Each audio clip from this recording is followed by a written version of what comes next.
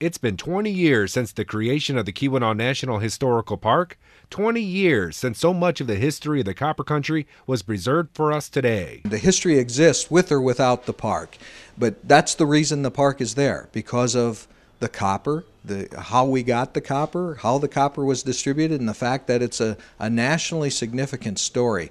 And so we think that the park has contributed to really telling that story and to historic preservation. The celebration begins at 9:30 at Agassiz Park in Calumet with a whole series of events, including Indian dancers, live music, kids games, a scavenger hunt with prizes, and uh, a keynote address by our Deputy Regional Director Patty Trapp and our Senior Senator Carl Levin.